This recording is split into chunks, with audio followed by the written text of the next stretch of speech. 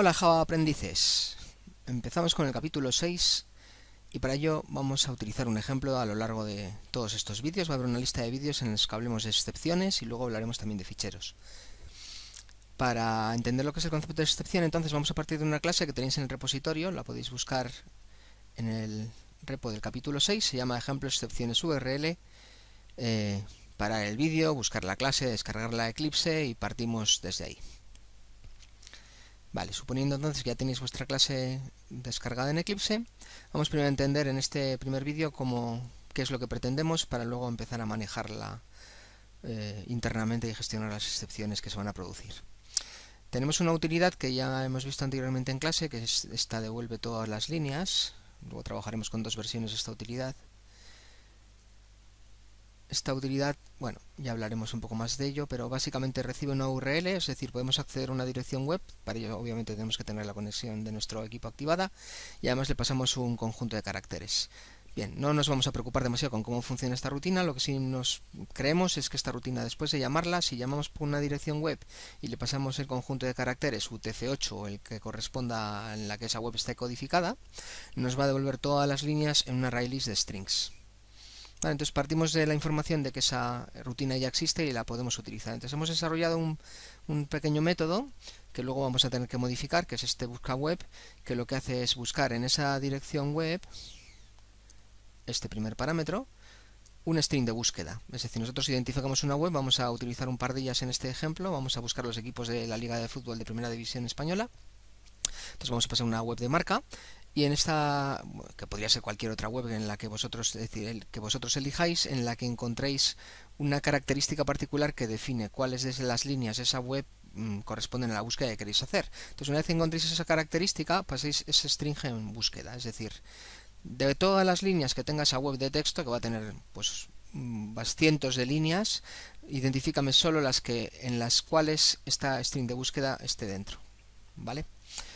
Y obviamente también pasamos el charset. Entonces lo que hacemos en esta rutina es primero pedir todas las líneas, para eso me devolverá una array list, ya os digo que esta, esta función la vamos a ver de momento como una caja negra, esto me devuelve una array list con todas las líneas, lo que hacemos nosotros es crearnos otro array list, y a ese array list mm, vamos a ir depositando de todas las líneas de las que nos ha devuelto la web, de las que se ha descargado por esa conexión HTTP, solo vamos a mirar aquellas en las cuales esté contenida la cadena de búsqueda. De esta manera podemos trabajar con un conjunto más reducido de líneas, y ya en esas líneas buscaremos cosas. Entonces, primero tenemos esta rutina que ya esté programada, buscan web, y esta rutina nos va a servir para buscar, eh, pues como os digo, dentro de una dirección web podemos buscar distintas cosas. Y entonces en el ejemplo en particular nos lo vamos a plantear, voy a ir a, mi, a nuestro método main, nos vamos a plantear para el siguiente supuesto. Es un ejemplo que nos va a venir bien para, para ver cómo funcionan las excepciones. Vamos a buscar todos los equipos de primera división.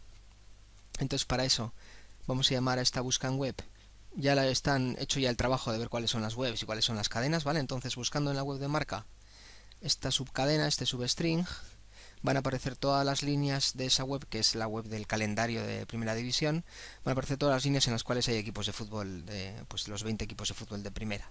Vale, entonces, ¿qué hacemos? Pues con todas esas líneas de Primera tenemos los equipos, eso es lo que vamos a hacer aquí y este for que ya está construido lo que hace es sacar de esas líneas los equipos. Los, añadimos y aquí ya veis que lo que hacemos es básicamente hacer una subcadena en la que despreciamos todo el resto de información y nos quedamos simplemente con el, primer sitio que encontramos una, un doble, una doble comilla, hasta el último sitio encontramos una doble comilla, de manera que al final se van a añadir aquí todos los equipos y vamos a quitar los repetidos, de manera que al final obtendremos una lista de equipos voy a ejecutarlo, va me, van a pasar más cosas, pero básicamente por ver, luego, ahora vamos con el resto de cosas, porque esta es la lista de equipos donde ya tenemos los 20 equipos. O sea, hemos utilizado esta rutina por primera vez para buscar los 20 equipos. Pero ahora lo que queremos hacer, nos plantean que hagamos eh, visualizar de cada equipo, no, no, tanto el equipo de fútbol en sí, sino el tiempo atmosférico, los grados de tiempo atmosférico que en este momento hace en esta ciudad. Y esto, bueno, pues nos lo podemos plantear de muchas formas, pero también lo podemos plantear buscando en la web. Entonces lo que vamos a hacer aquí es una rutina, veis este grado es igual a get grados de ciudad, que también me lo he inventado. He buscado esta web, que es una web, bueno, pues pública, que dice el tiempo en, cualquier ciudad de España.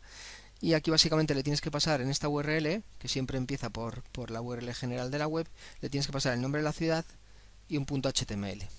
Entonces, ¿qué vamos a probar? Vamos a probar lo siguiente. Vamos a coger los 20 equipos y vamos a hacer el tiempo.es con el HTTPS y vamos a concatenarle aquí, al final, el nombre del equipo de fútbol seguido de un HTML.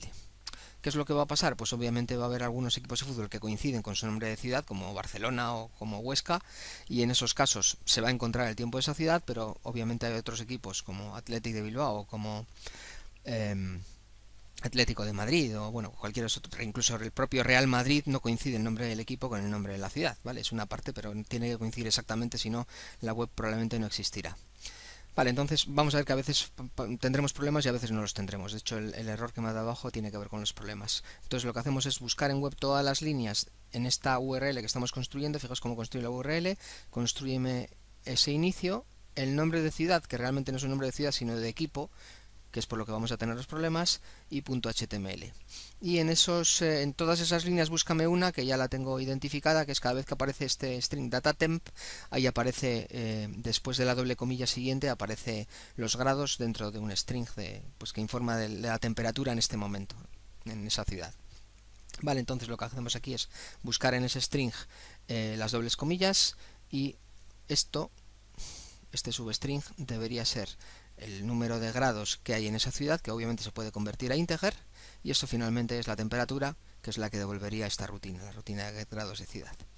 ¿Vale? Entonces vamos a hacer un recorrido por los equipos de primera división partiendo de una web y vamos a recorrer todos los equipos para buscar la temperatura en otra web de cada uno de ellos.